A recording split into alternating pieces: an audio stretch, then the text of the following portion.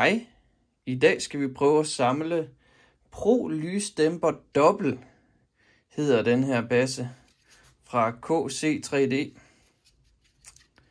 Den er baseret på at tage to IKEA on-off knapper og bygge om til et svagstrømstryk, så det matcher kontakterne fra Fuga-serien.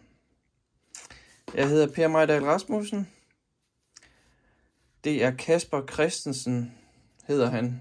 Ikke til at forveksle med komikeren, som har designet disse. Lad os komme i gang. Så vi starter med at se, hvad der er i pakken. Man får fire tak switches med. Normalt er de blå. Så får men et bundstykke og en top og en batteriskuffe. Den her virker nemlig både med et CR 2032 batteri, som følger med dem her, eller et CR 2450 batteri, som er meget almindelige. De øh, følger for eksempel med Hue Dimmeren, ja, hvis man kender den.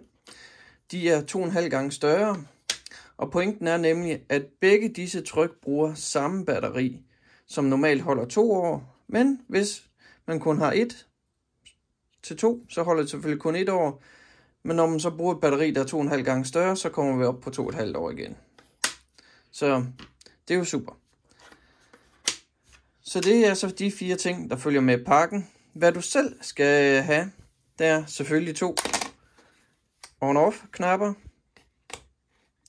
så skal du have tangenterne. Husk, at de skal være IHC svagstrøm, ikke IHC wireless, for de ser anderledes ud. Så skal du have to ledninger af 6 cm til strøm, og 8 ledninger af 8 cm til data. Så lad os komme i gang. Vi starter med naturligvis at skille disse to øh, knapper, on-off knapperne ad. Og det første vi gør, det er at teste dem, inden vi ødelægger den. Altid en god idé, når du modificerer elektronik. Så. Det gør også ved at trykke en masse gange på reset-knappen. Og så skulle den gerne begynde at blinke og bagefter lyse konstant, når den lige har haft lidt tid. Sådan der. Så de virker. Godt så. Så lad os vippe batteriet ud af dem. Vi gemmer det til senere. Hvis vi ser, så er det her, hvor den hakker ned. Det er der, den hænger sammen. Også ved den her. Så der tager vi lige og vipper den af. Se, der fik jeg gjort det forkert. Der kunne jeg have gjort det en hel masse, uden at det hjalp noget som helst. Så skal vi have gummimembranen af. Gummimembranen skal bruges igen senere, så den skal ikke smides ud. Vi skal bruge den ene af de to. Den bruges til isolering, når vi putter de to kontakter oven på hinanden. Pas på, at du ikke får ridset ned i kontakten, i det du tager den af. Godt. Så skal vi trykke den der op for at få den ud. Sådan. Og en gang til.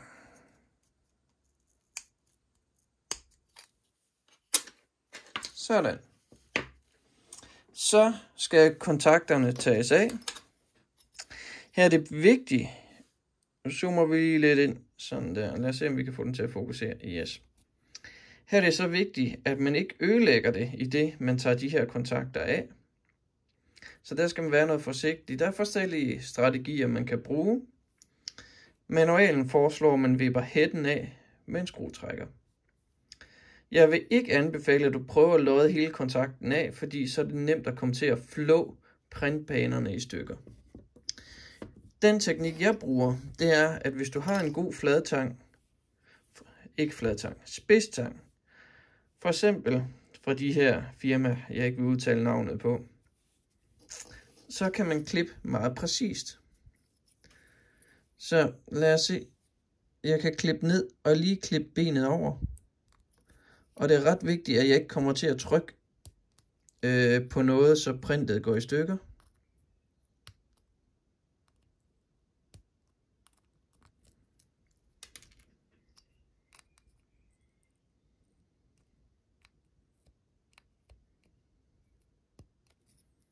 Fordi man kan måske godt få det kilet ned, så man laver et løft op i printet. Og så går det jo i stykker. Det kan vi ikke have.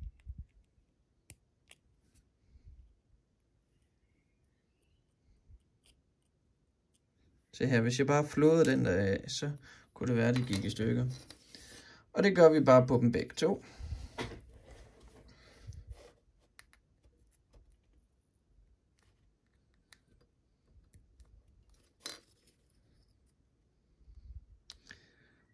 I tidligere versioner, så skulle vi også på den ene klippe batteriholderen af. Men som jeg ser guiden, så er det ikke nødvendigt længere. Vi ser, når vi når til det trin, om det stadigvæk er tilfældet.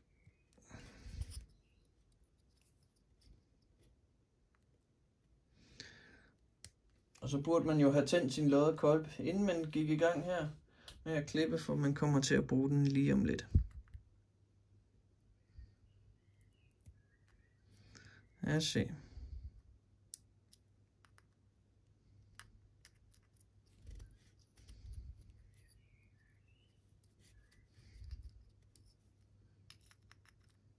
Sådan. Så er disse taget af. De fire kontakter. Godt så. Men benene fra kontakterne sidder jo stadigvæk lidt på. Så det skal vi lige have udjævnet. Lige have fået taget det af.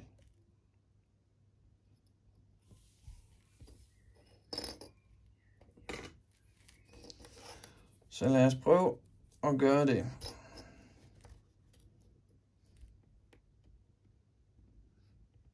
Så er det lige det, om den vil bide fast i lodetændet.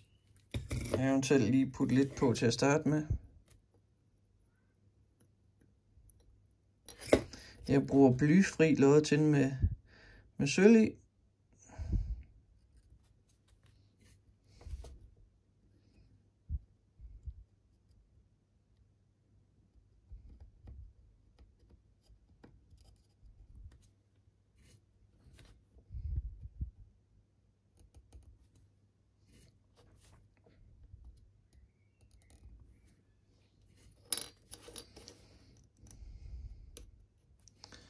tager det stille og roligt og får løjet dem af. Alle benene her sidder tilbage.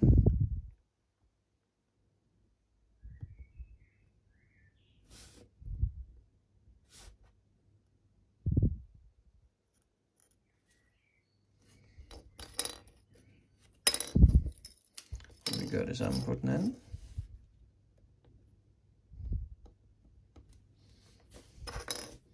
Den er lige lidt strid. Jeg kan også mærke, at vi får lidt dampe nu, så jeg skal starte min øh, hjemmestrikkede ventilation. Så det gør vi lige. Jeg håber ikke, det larmer i kameraet, men det plejer det ikke at gøre. Det er jo ret godt klaret, at det her noise cancellation kan fjernes. Det gør så.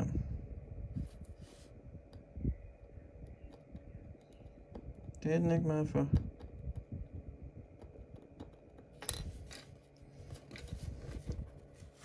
Så giver vi den lige lidt mere.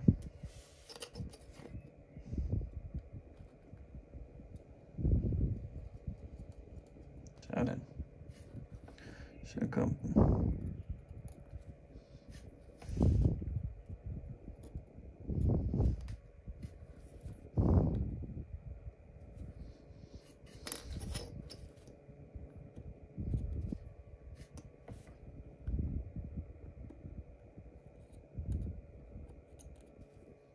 Egentlig så er det ikke nødvendigt at fjerne den fra dem alle sammen, kun de to øh, på hver side, jeg vælger at bruge.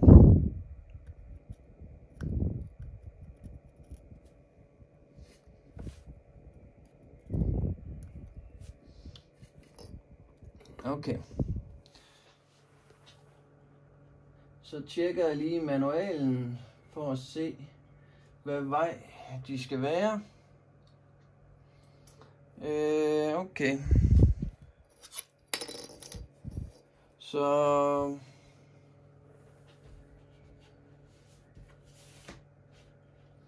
Jeg tjekker manual her. Okay, men vi starter med den nederste. Det her, det er den, der kommer til at være nederst. Så er det spørgsmål for, hvad vej vi ser den. Men vi vender den, så, så chippen vender nedad her, den sorte chip. Og vi har de to der. Så skal de komme den her vej fra ledningerne. Okay, ser jeg på manualen. Så vender jeg den på den her led, så ved jeg, at de skal komme den her vej fra. Okay.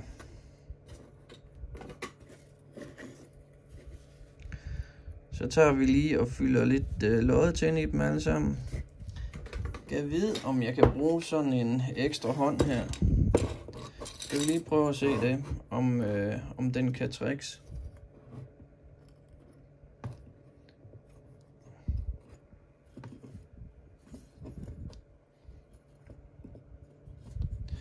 Se, om det er til mere skade end gavn. Så vi giver den lige en klat loddet til.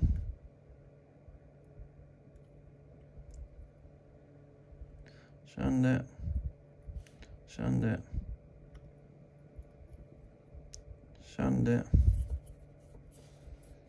Og sådan der. Yes. Så skal vi have ledningerne på, som jeg allerede har snydt lidt i forvejen og afisoleret lidt. Men de behøver jo ikke at være særlig afisoleret, så vi sørger for at klippe dem til. Så lad os se, om den vil være der.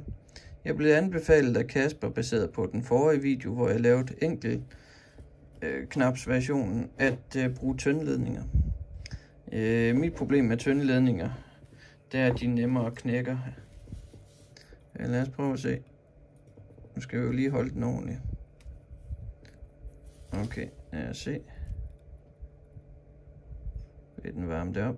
Ja, ja, ja. Sådan. Så har vi den næste. Den ser noget for lang ud. Det klipper jeg lige. Det kan man ikke se på kameraet. Også lige meget. Lad os få den lavet på.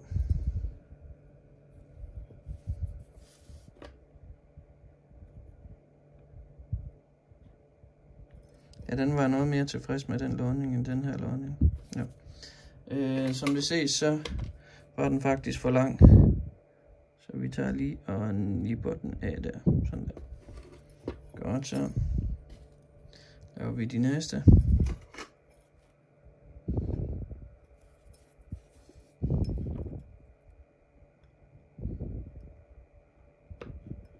Den bliver også for lang, den kortslutter faktisk noget. Men... Nej, der var lige en kort afbrydelse, så fortsætter vi her. Så den var lidt for lang og kortsluttede med noget derhen. Så den nipper vi lige, hvis vi kan nip, nip, nip. Sådan. Skal vi lige... Sådan der. Så er den der dims nippet af.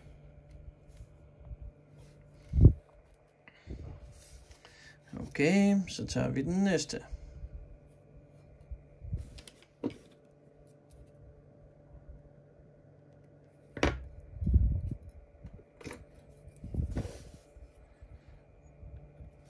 Og lodder den på.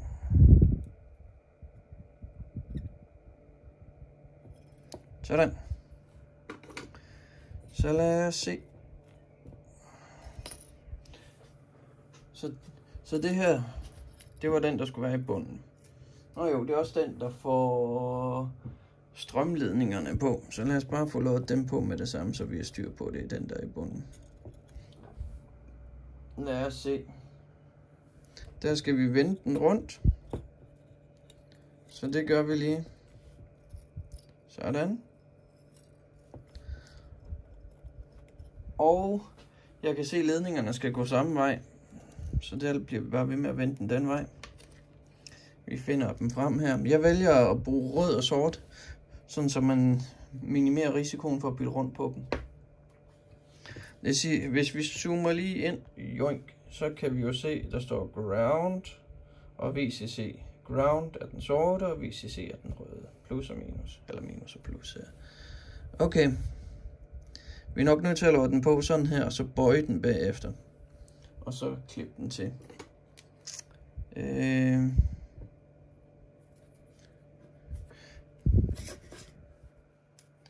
Vi fylder lige godt med lodden i, øh, i den, sådan, så den har noget at bruge af. Kom så. Ground, den tager jo lidt længere tid at varme op altid. Sådan der. Okay. Jeg tager lige og vender den lidt på skrå her. Sådan der. Så skal vi have ground loddet på. Sørg for at begge emner er, er varme på samme tid. Sådan der. Og VCC, altså plus.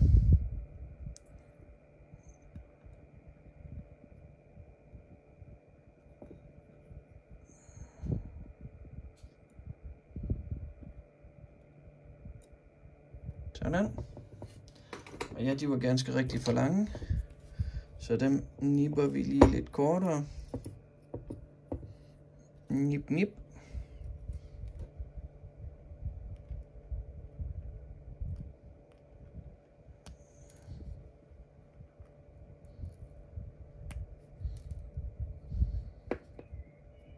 De kommer jo bagefter til at blive lort på de to sammen på den anden. Okay, så er den til bunden færdig.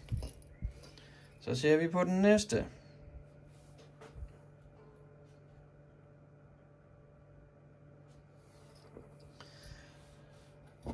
Så ifølge tegne, øh, tegningen, så når den vender på den her led, så skal de gå den her vej ud.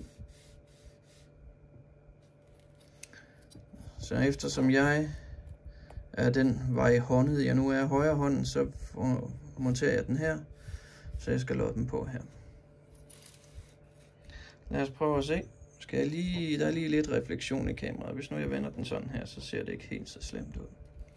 Ja, så Lad os få loddet dem på. Vi starter lige med at putte lidt ekstra loddet på, der hvor vi skal lodde.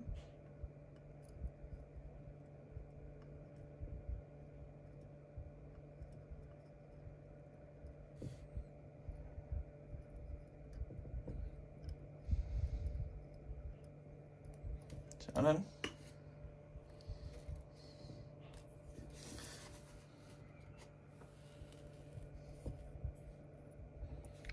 Den ser noget for lang ud, den ledning, men altså der hvor den er afisoleret. Men det justerer vi bagefter.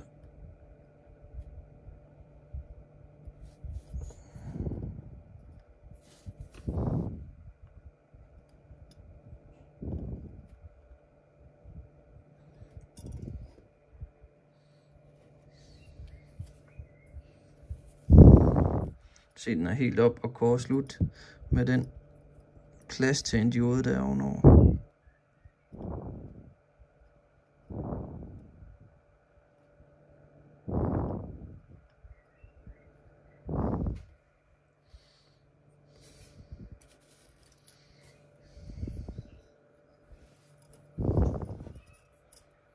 Og vi skal have den her på også. Sådan.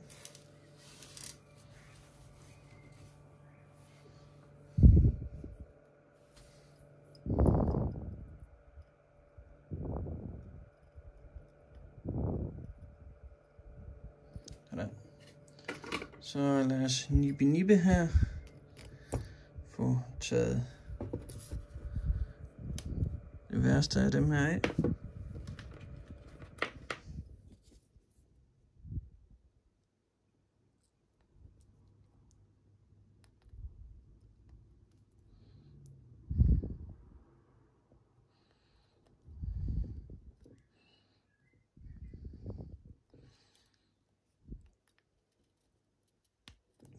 Sådan.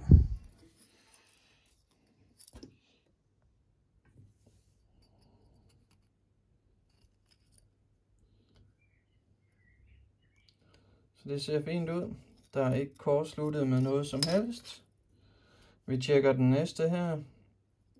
Den ser også rigtig fin ud. Og også her. Hmm.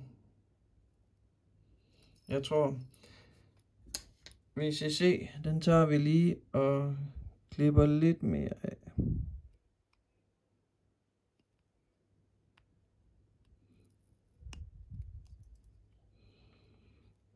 Ja, det bliver som det bliver. Det vil være bedst at undgå, at den ligger hen over noget som helst. Men jeg tror faktisk, den er god. Fordi VCC, hvis man ser den som bane, så kører den lige her. Så den er fin nok.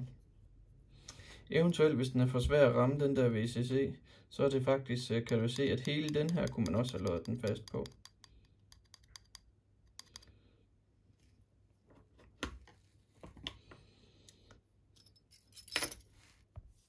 Så zoomer vi lige godt ud igen.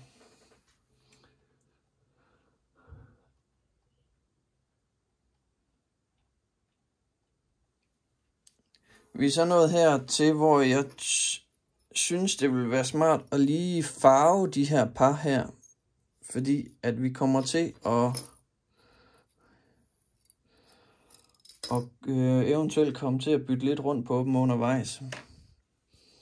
Så lad, lad os se, om det er til at farve det her hvide ledning. Det tror jeg ikke, men vi giver den et forsøg. Sådan der. Så laver vi en, der er blå.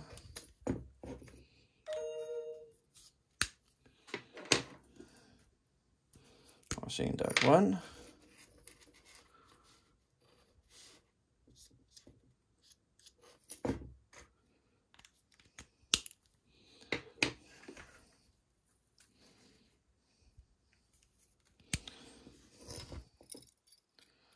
Rød.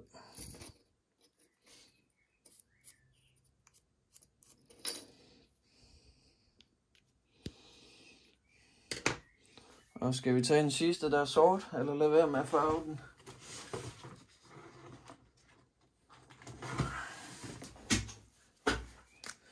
Der var lige en sort.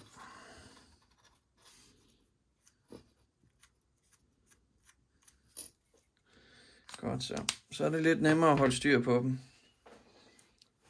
Det er også godt at have en forståelse af, hvordan de fungerer. Hvis man kan huske, hvad for en, der var tænd, og hvad for en, der var sluk. Men det kan jeg ikke. Så lad os prøve at følge manualen. Nu har vi i hvert fald lige markeret dem op.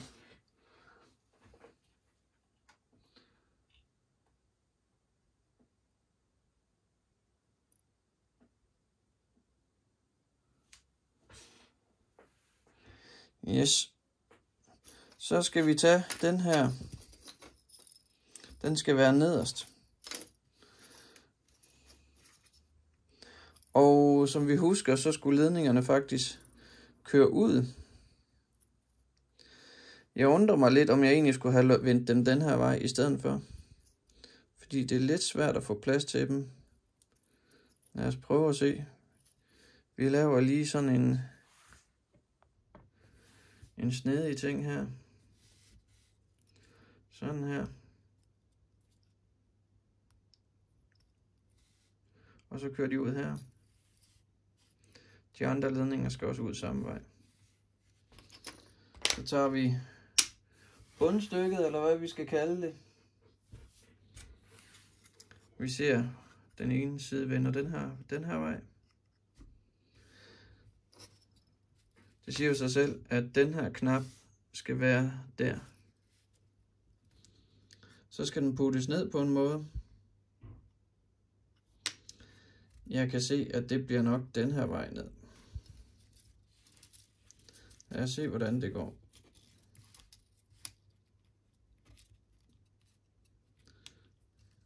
Jeg har med vilje brugt noget tykkere ledning til at overføre strømmen med, således at jeg ikke får så stort et spændingstab på batteriet. Det tænker jeg giver færre problemer. Dataledningerne, det er lige meget. De kan sagtens være helt tynde. Okay. Så kan vi se, så skal den ind i den der flække, der er lige ovenover. Så lad os prøve at se.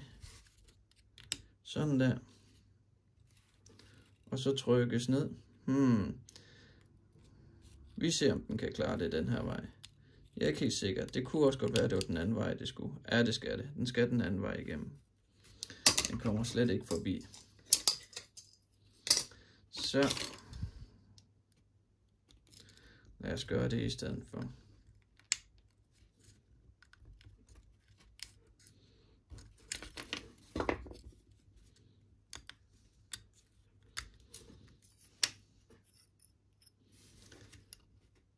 Så vi putter den den her vej ned i stedet for.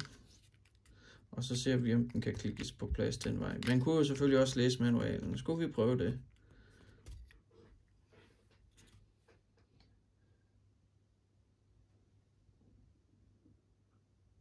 Det står ikke i manualen, så det må man ligesom selv finde ud af. Men det siger jo sig selv, at man er nødt til at køre den den her vej ind for at få den under de her to kanter.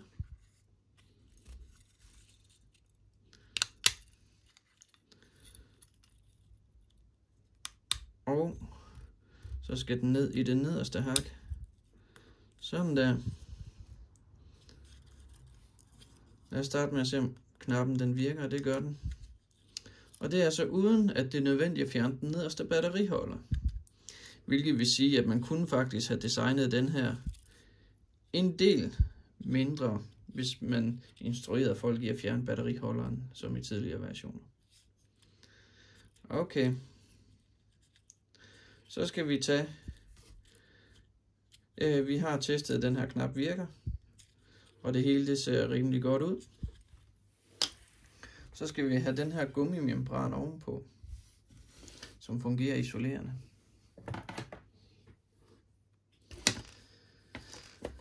Så hvis vi ser, så er der en del, der lige skal klippes af.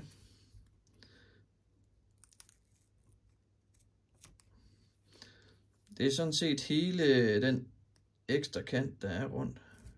Vi prøver lige lidt. Kan altid klippe mere af, så derfor så tager vi ikke så meget til at starte med.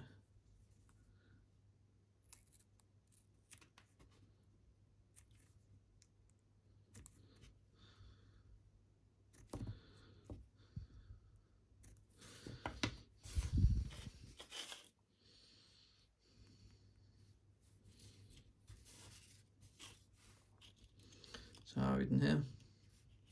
Kan vi lige få en fornemmelse af den. Skal jeg går ud fra, at den skal ind under den der. Der er i hvert fald plads til den ind under. Jo, men det gik jo fint i første forsøg.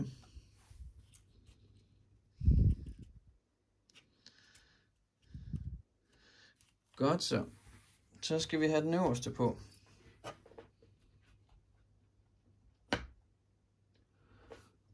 Og den øverste, den skal vende sådan her.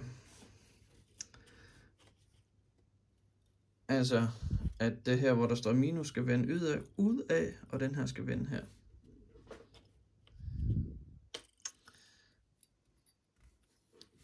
Så lad os prøve at lægge den ovenpå.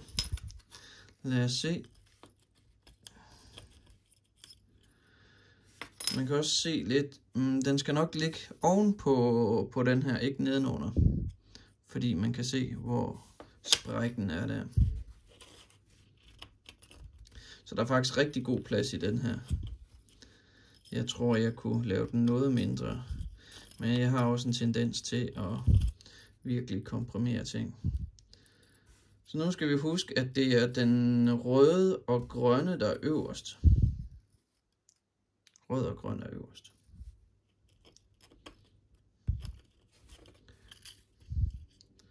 Lad os se.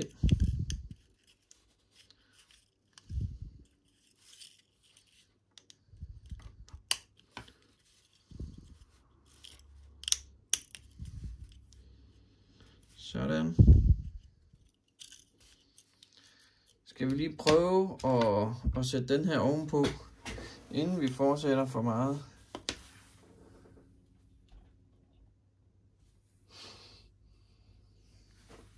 Egentlig så er det ikke så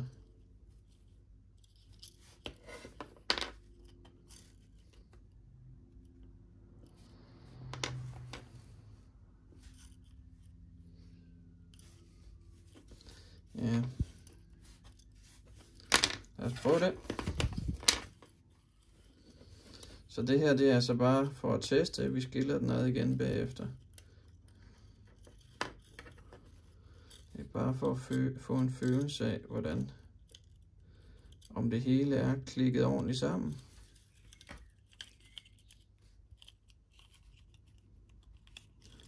Inden vi begynder at lodde for meget. Så den der, den passer i hvert fald ind der. Og den her passer ind der. Sådan der. Så ser vi her. Vi kan se, at PCB'et, oh, det kunne godt komme på plads her.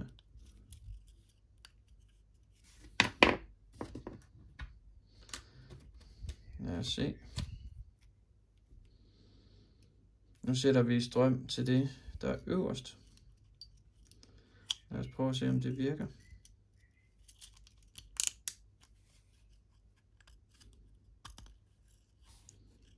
Så vi putter skuffen ind. Så forventer vi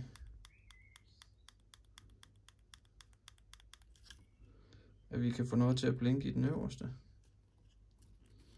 Lad os se, om det er tilfældet. Jeg ved faktisk ikke, hvor den skal blinke hen. Jeg synes ikke lige, det er tilfældet.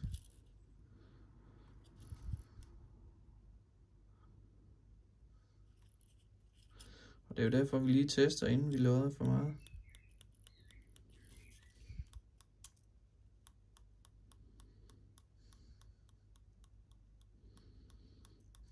Det kan være, at jeg har vendt skuffen forkert. Det er nok temmelig meget det. Eller hvad? Nej, skuffen den trykker den ned af det. Men jeg synes ikke, den rigtig føles helt samlet.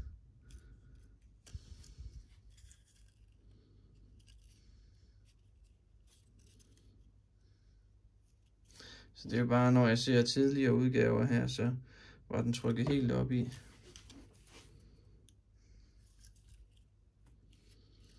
Og øh, den skulle blinke nu. Den øverste der. Ja. Batteri i sådan der. Den her vender i sådan der. Og trykker ned mod den der. Sådan der. Der er forbindelse der.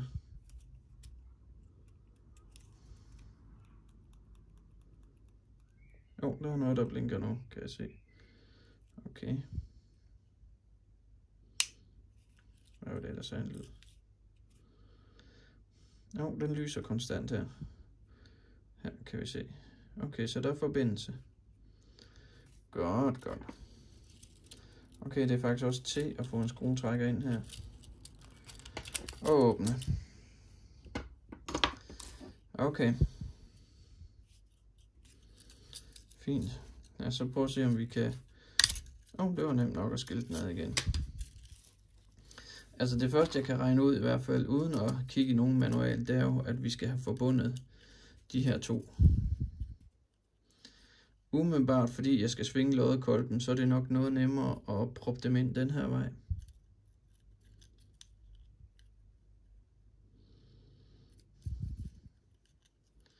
Først uh, ground. Og øh, så ser vi på VCC bagefter.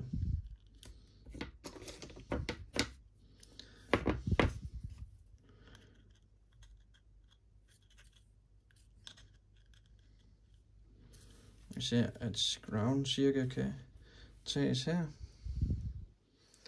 Zoom ud. Så vi nipper den der.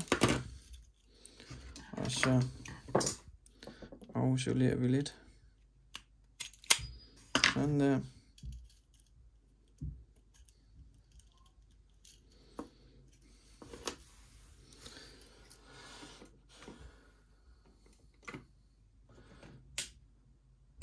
Skal vi lige have startet lodkolben op igen, som valgte at slappe af imens.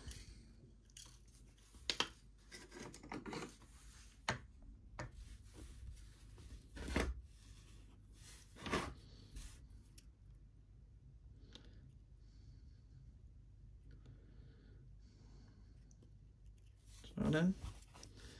Og så lad os lige få noget på ground. Og noget på VCC. Og pas på, at man ikke får loddet på det fine plastik. Sådan der. Så har vi en fin fladtang, hvis jeg kan finde den. Der var den. Lad os bare nippe det meste af den der af, sådan der, i stedet for at prøve at gøre det bagefter.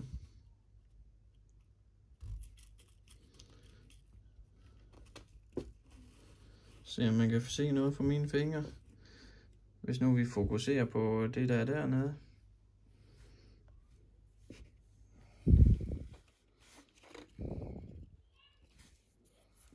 Ja, se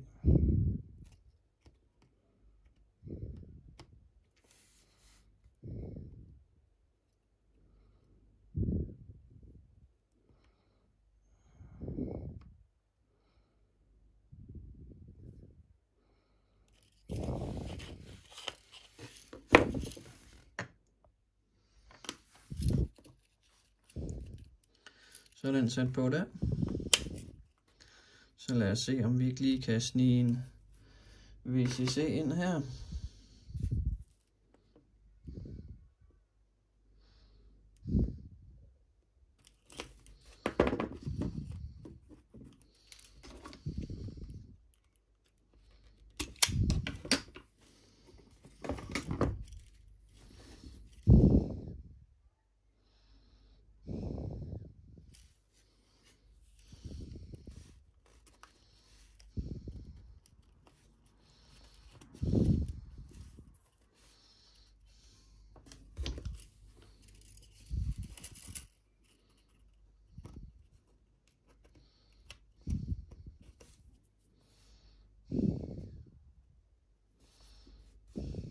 Se, det er lidt svært at ikke komme til at smelte noget plastik.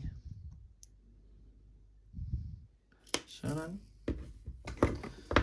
Så lad os lige få afkortet dem.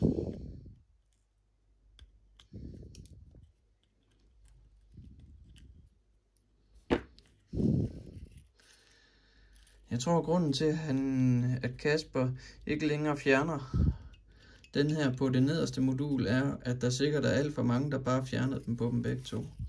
Og så stod de der. Og der kan vi se, at ground den er ikke blevet loddet ordentligt fast. Det var lidt irriterende, fordi nu står den røde ledning lidt i vejen. Lad os prøve at se, om vi kan klare det. Så vi ser, om vi kan smelte det hele sammen.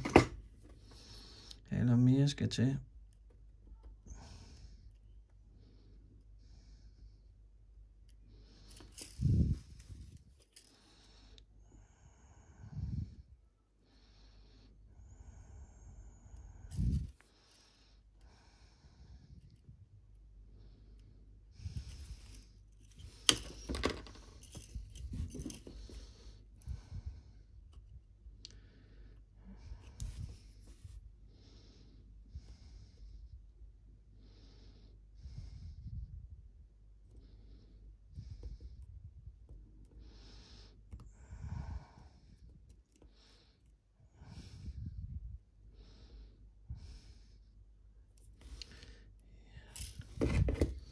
Den bliver trykket lidt flad, men bare der er forbindelse, så er det jo fint nok.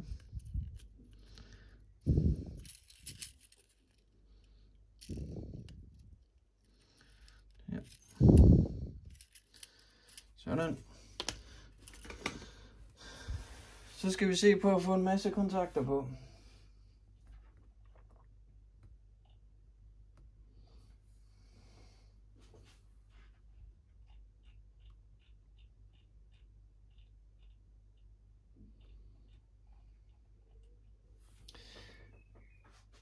Jamen lad os prøve at putte den her ovenpå, og så kan man faktisk se på tegningen, hvor ting skal hen.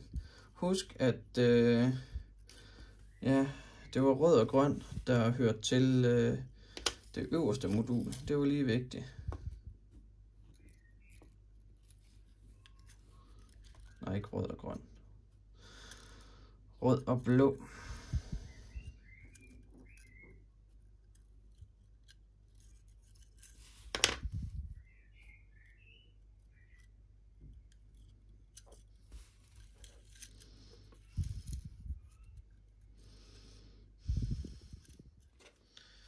Så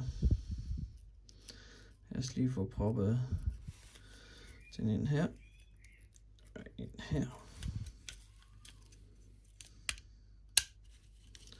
Sådan. Faktisk inden vi går i gang med at lodde for meget, så kan vi teste den igen. Nu har vi jo loddet den sammen. Så lad os se, om vi kan teste, om øh, både den øverste og den nederste kan resette. Vi starter med at se, om øh, om den øverste kan. Jeg synes ikke, den klikker lige så godt som før. Jo, oh, der var den. Så vi kunne se, at den begyndte at blinke her. Og den skulle gerne tænde lige om lidt. Ja, så den har tændt permanent der. Så tager vi den der nederst. Den blinker over i den anden side her. Og så lad os se, om den tænder. Det er lidt svært at se, når de begge to er der. Nej, men der er den. Den tænder. Så det er fint. Vi har verificeret, at, øh, at der er strøm til dem begge. Fordi det er så noget nemmere at fikse nu, inden man begynder at lade for meget sammen. Okay.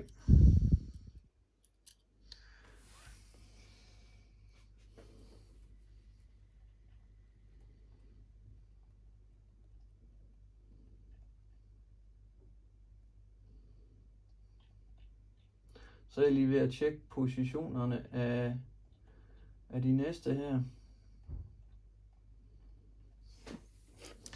Ja, man kan jo bytte rundt på dem, om man vil, men øh, pointen er, at dem, der hører til de nederste modul, skal være tættest på mig. Øh, og vi ved, at det øverste modul var blå og rød. Så lad os, øh, så de skal jo høre. Så de øverste modul skal også være øverst. Det er måske også nemmest at huske. Når man vender den på den her måde. Men det er så på hovedet foran til teksten. Så vi tager lige putter den her herhen.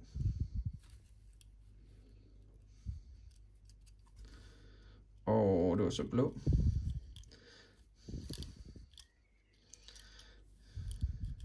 Det er så spændende at se, om jeg har fået byttet rundt på noget i alt det her.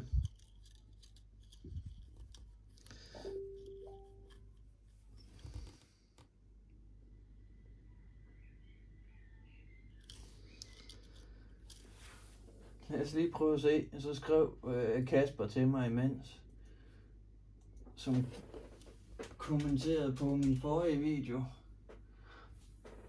Han synes min forrige video, jeg brugte for tyk ledninger. Øh, hvor jeg brugte dem her i stedet for. Så den her gang har jeg brugt tynde ledninger.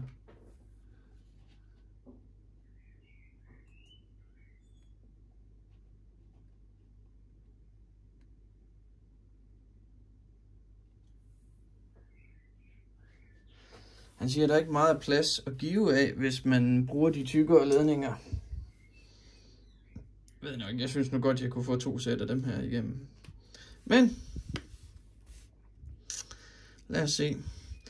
Altså, jeg er mest spændt på, om jeg har fået byttet rundt på noget. Så... Ja, det var hvad man skulle dobbelttjekke.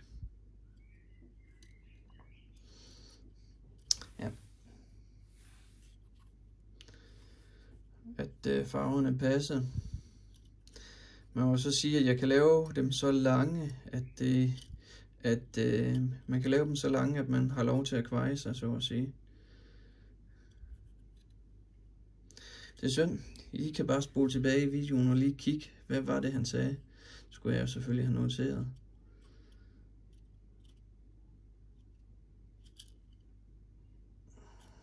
Skal jeg prøve at se.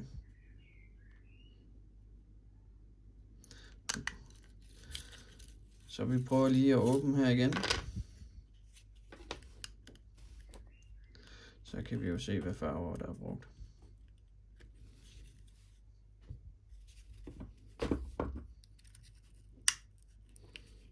Så kan vi se, om den også er til at skille ad, når man har samlet den på den måde her. Jeg se, jeg vil nok helst åbne den den her vej. Sådan her. Og sådan her.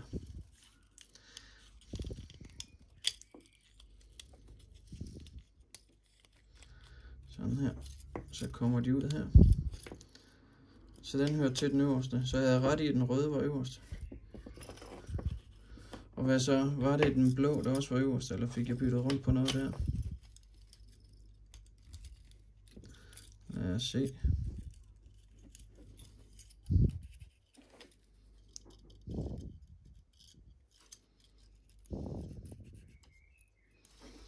Nej, der fik jeg godt og grundigt byttet rundt på det. Så det var godt, jeg tjekkede. Så jeg har lige givet dem, der er øverste knæk. Fordi det er sådan set bare det vigtigste at holde øje med, hvad for nogen, der hører til det øverste modul, og hvad for nogen, der hører til det nederste modul. Kan vi også lige filtre det lidt ud. Lad os se.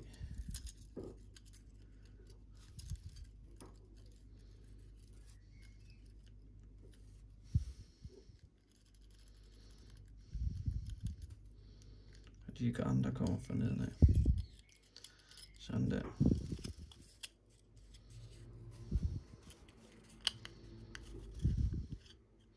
Så de øverste putter vi øverst. Det er til at huske.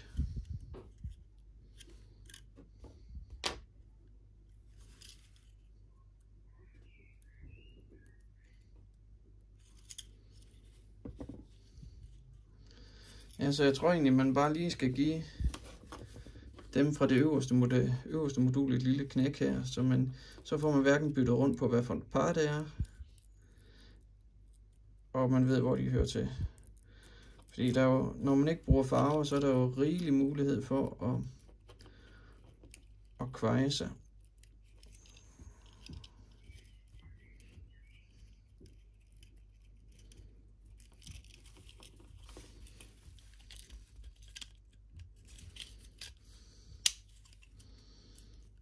Sådan. Kan vi også prøve at se.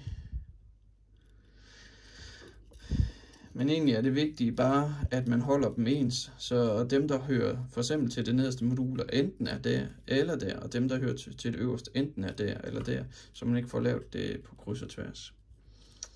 Okay, lad os komme videre. Så skal vi have knapperne på.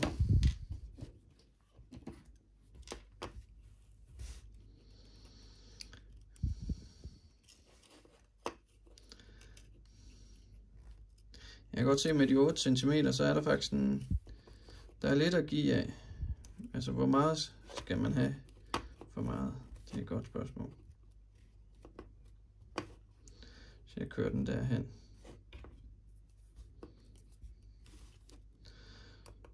Så jeg tror, jeg starter med, at den, når den er trukket helt, så går den dertil. Så har jeg stadigvæk rigeligt at justere på. Sådan der.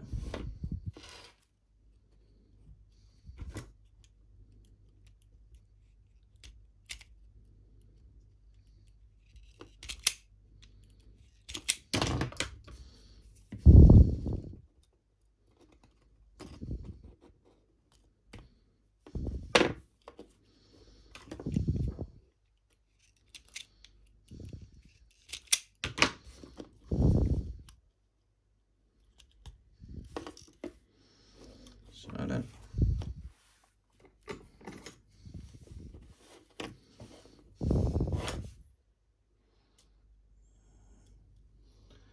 Øh, temperaturen her på lodkolben skal lige tage sig sammen. Ja, det er svært at få noget lodtønd til at hænge fast på det der. Vi ser her.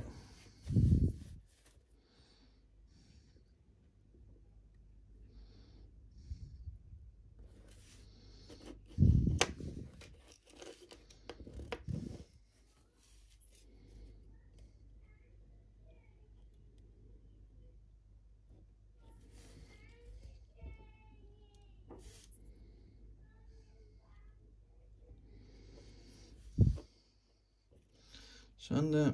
Sætter en på. Skal vi prøve at trykke dem på. Det er så fint lavet i den nye version.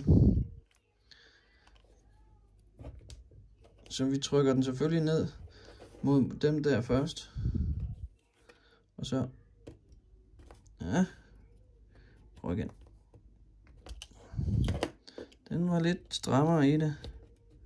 Og så fik jeg ikke lagt den ordentligt på. Hold da kæft.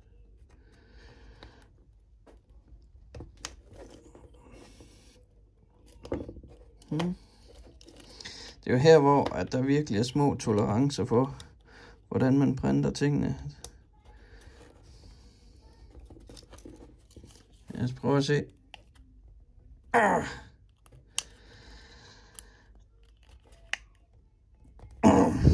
Nej. Okay. Det er så her, hvor vi lige har filen, vi kan bruge til at lige tage det værste af. Sådan her. Ja, se. Sådan her. Ja, se.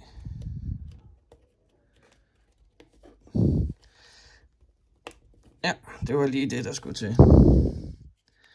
Så var der lige lidt. Og den er stadigvæk rigtig stram. Og ledningen, den er ikke i vejen for noget. Okay, så lad os tage den næste knap.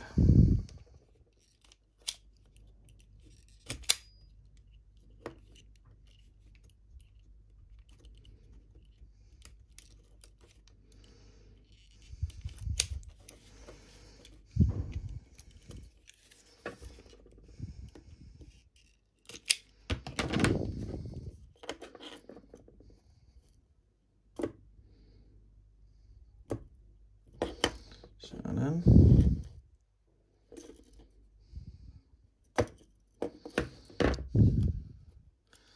Sådan.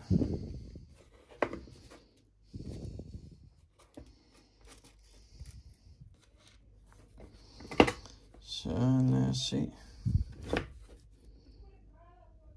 Sådan her. Og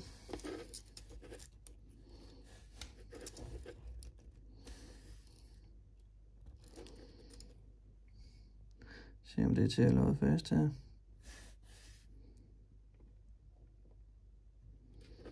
Der er den ene. Og den anden.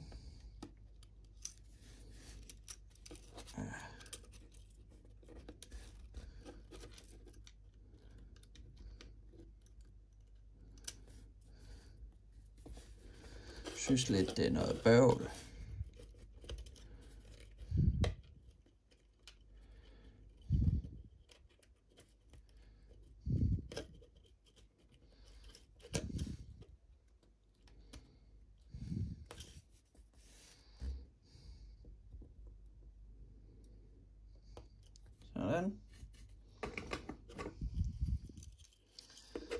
Sådan. Så se, om den er til at trykke på.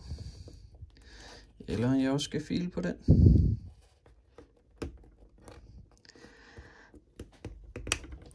Mm, Nej, lad os file lidt på den også. Det kan jo være, at mine kontakter er lidt anderledes, men jeg tror da ikke, fordi den forrige, den gik så fint, den forrige kontakt, jeg lavede. Så lad os prøve at se. Sådan, så kom den på.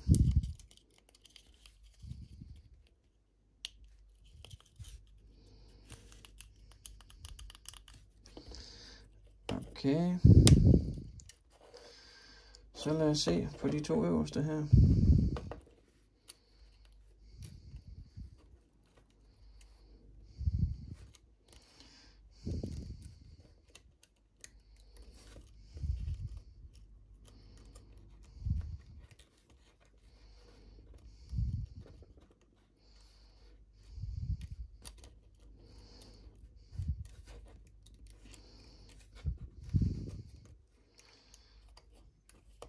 Så lad os se, hvor meget ekstra vi vil have. Jeg vil godt have en del ekstra. Jeg tager den midt på der, og midt på der. Sådan der.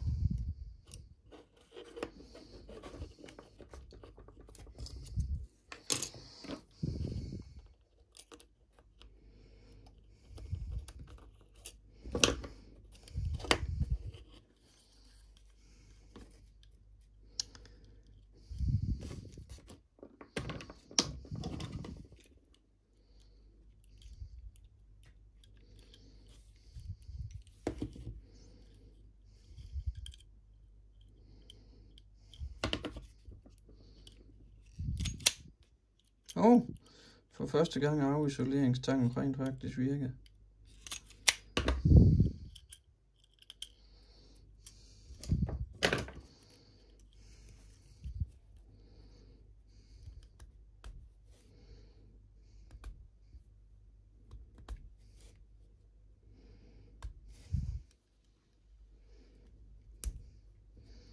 Her virker den så ikke. Eller hvad? Jo, den virker. Den har afisoleret. Godt så.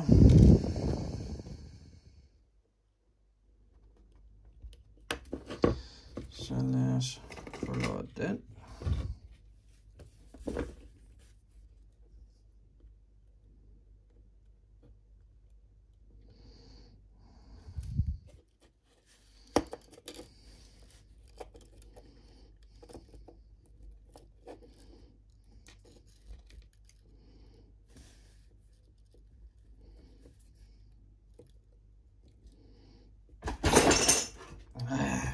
Ah, fucking kat. Har lært, at man kan gå igennem vinduet.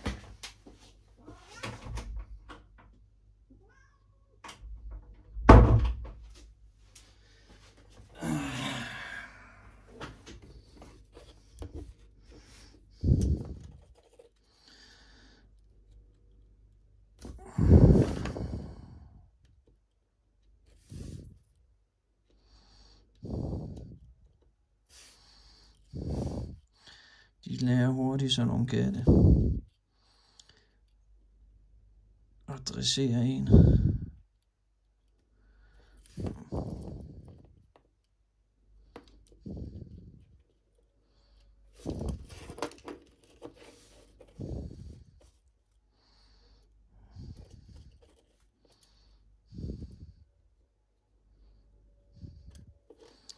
Jeg er ikke helt tilfreds med den ene her. Nej, det kan jeg blive. Så lad os se, om den vil på. At den også lige skal have en tur med filen. Det skal den også.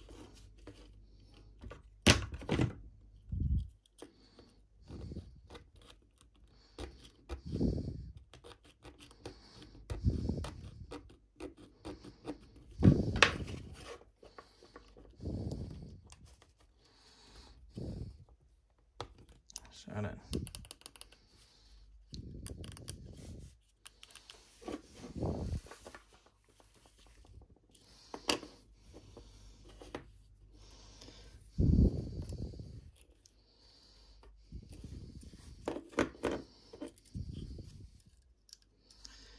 Er vi ved at være oppe på en time? Nu blev min, video afbrudt midt i det hele. Fordi en ringede til min telefon. Det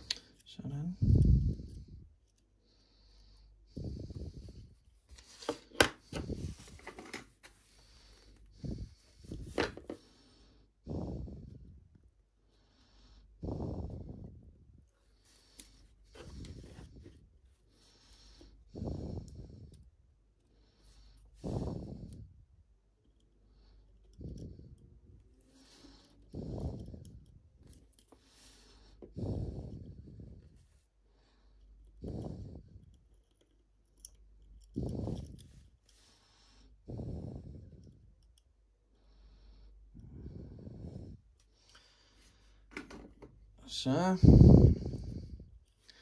vi ved at være der. Ja, jeg filer den med det samme her. Det kan vi jo lige så godt, når de tre andre var skulle files. Så.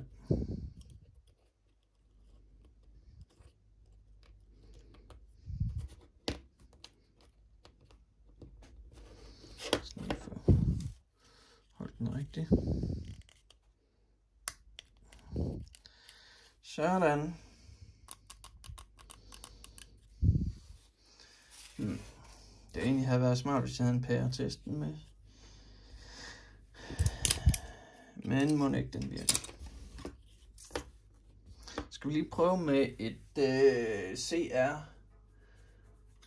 24 batteri, når vi er i gang. Og hvordan får man sådan en CR 24 batteri? Jo, man tager da lige en Philips Hue dimmer, man har liggende. Fordi de har jo Philips, øh, altså de har sådan et batteri. Det er til kommende videoer, hvor jeg skal lige bruge sådan en. Den skal selvfølgelig ikke bruges rå, den skal modificeres.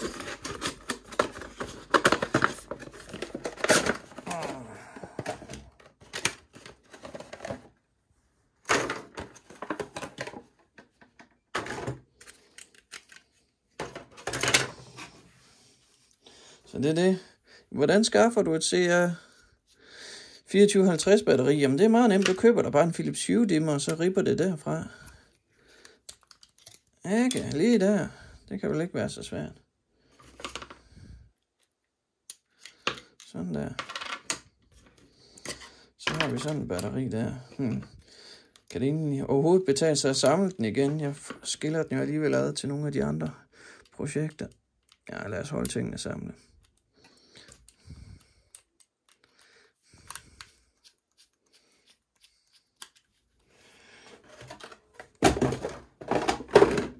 Okay, så lad os prøve med sådan et, øh, et fint batteri.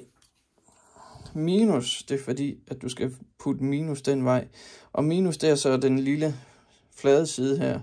Det, man kan se, det er plus ved, at der er et fint plustegn. Skal vi lige have en normal størrelse kamera her. Sådan her. Der er et plustegn her, så man kan se, hvad for en side, der er plus. Så lad os prøve at se, om det virker. Se, om man kan få den ind. De her ben, de står lidt i vejen, men øh, må ikke, jeg kan arbejde den ind. Det er de her ben, der herinde. Eller ben. Ja, se. Kan den komme op over? Jo, det kan den. Sådan der. Den er noget stram. Ja, se. Kan jeg trykke på den her? Jeg synes, den klikkede bedre før. Nå, men du vil se, den blinker hernede. Så lad os se, om den her blinker. Så, bl så blinker den anden. Yes. Og den får i tændt, og nu om lige om lidt, så tænder den anden også, så er der fint lys i den.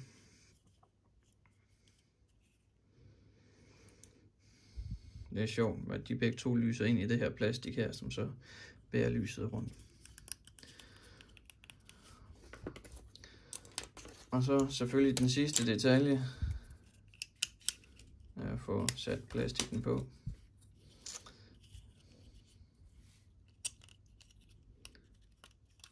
Så den skal faktisk vende sådan her.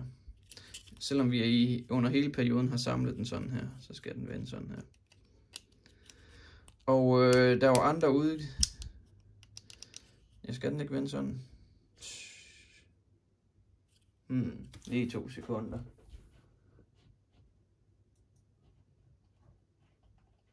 Lad os prøve at se.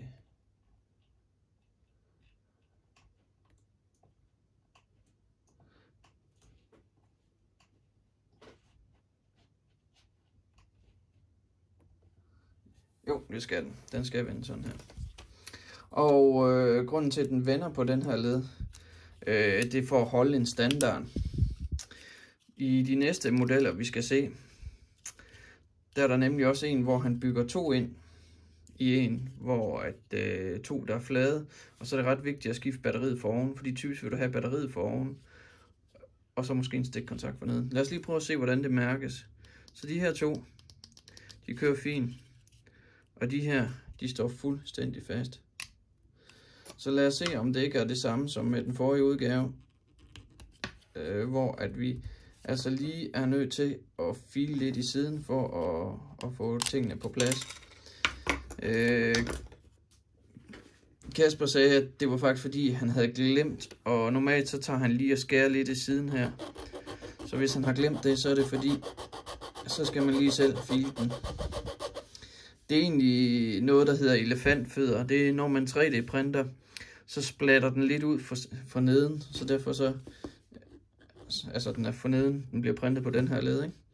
Så derfor så er vi lige nødt til at, at file elefantfoden til her, så den forsvinder.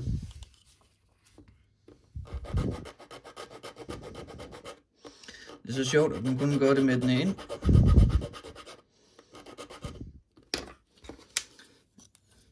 Så der var alligevel lidt, der skulle files her. Jeg ser, om det hjælper. Jeg er ikke helt tilfreds. Så hjælp det herover. Det kan også være fordi, at knapperne ikke er trykket helt nok ned. Det er nemt at bare antage, at det er det samme som sidste gang. Så lad os prøve at se, hvad vi kan gøre der. Kan, er de overhovedet til at få ud igen, når de er trykket ned? Og oh, der er det. Sådan. Så vi filer lige en lille smule mere her.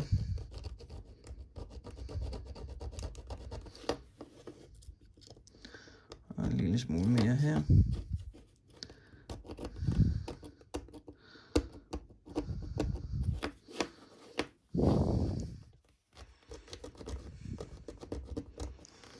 Sådan der. Så lad os se, om vi kan trykke den ordentligt ned. Så hvis jeg trykker den helt ned fra den ene side, og så trykker den ned her. Sådan der. Og den her trykker ned fra den her side. Og helt ned. Sådan der. Og lad os bare fjerne alle forhindringer.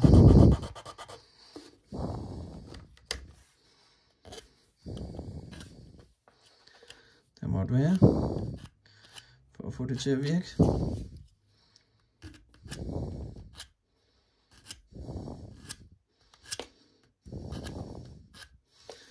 Sådan der.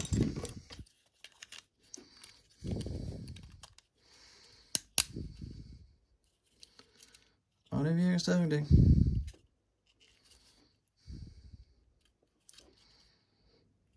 er spøjst.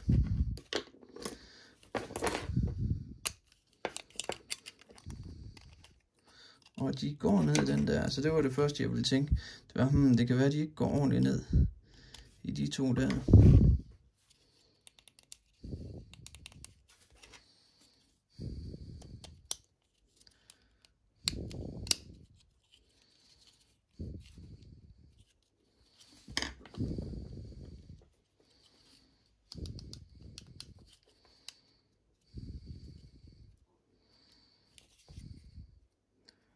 Så her, der ser den rimelig godt ud. Ikke så meget her.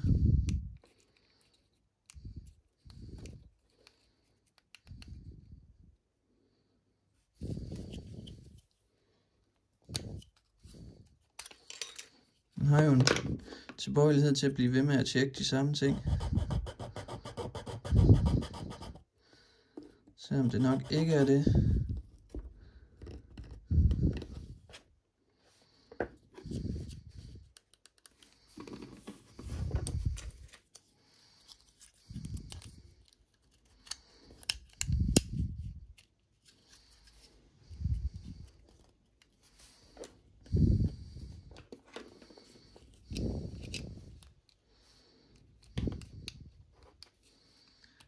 Aha. Okay, jeg har lidt her. Jeg gætter på, at det er for neden. Hernede, den bliver trykket for langt ned.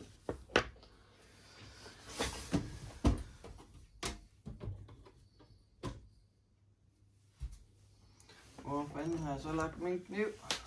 Den har jeg herovre.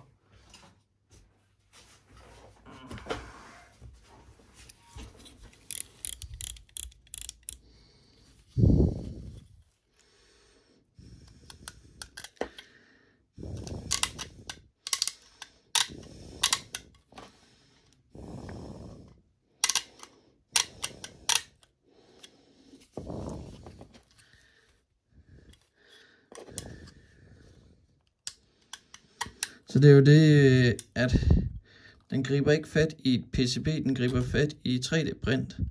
Og hvis det så lige bøjer lidt for langt ned,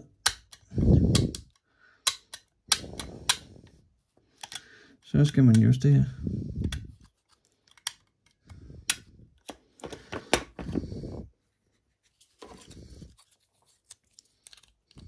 Okay.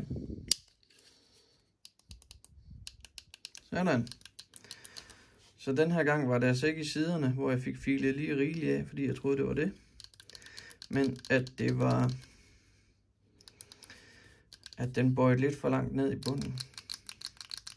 Sådan der, så lyder den også ordentligt.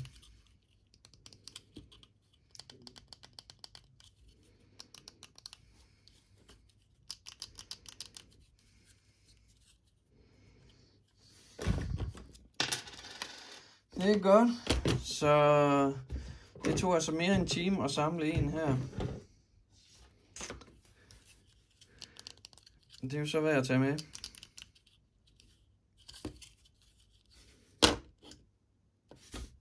Tak for den gang.